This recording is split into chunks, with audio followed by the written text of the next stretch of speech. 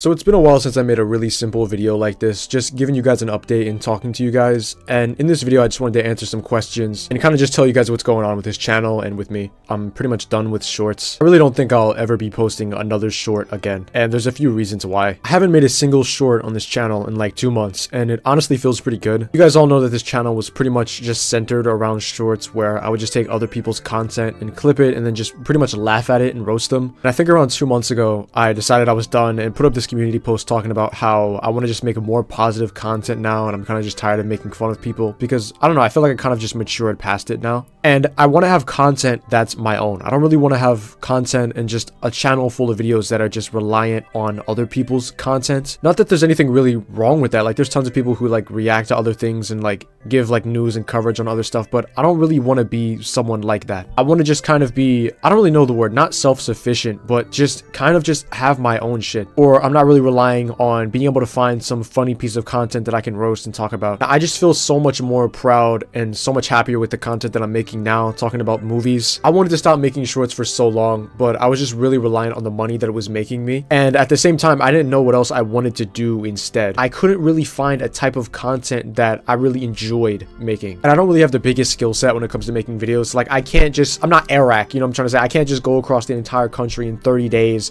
and make a video out of it. So I kind of had to try to figure out something that I could make with the skill set that I have that wasn't making shorts or wasn't doing commentary because I, I don't really want to do that. And I decided on the whole video essay thing, making like really long videos, finding something that I know a lot about and just want to share with people and just making a super long video, not worrying about the length and just talking about it extensively. Like I really love doing that. And it took me a second to kind of like settle into the video essays that I wanted to do until I found like bad movies. And I love bad movies so much as a thing to make videos about because I can just apply the same like jokes and roasting and stuff that I was making about people in their videos, but I can instead apply it to like a work of art, right? Like a movie. And on top of that, I love movies, you know. I, I don't love Zong videos. So the long form video essays on bad movies and like maybe other video games in the future is something that I'm just vastly more passionate about than just making shorts. Even if the upload frequency is less, because like right now, the thing I'm more focused on is just quality over quantity. Like before, I would sit down in the morning and just make like 10 shorts, right? And it would, it would, it would take me like